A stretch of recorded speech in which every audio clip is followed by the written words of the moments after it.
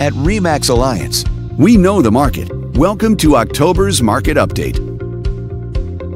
Let's take a look at residential real estate activity in your area during the month of September. The number of active listings was down 18% from one year earlier and down 21% from the previous month. This smaller inventory means that buyers who waited to buy may have had a smaller selection to choose from. As you can see, the median listing price for the month was $580,000.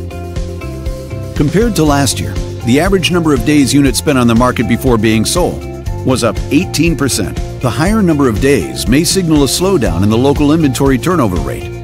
The median sale price was $500,000. The number of units sold decreased 16% year over year and increased 25% month over month. Despite a slight annual decrease, this upward monthly sales trend indicates positive momentum.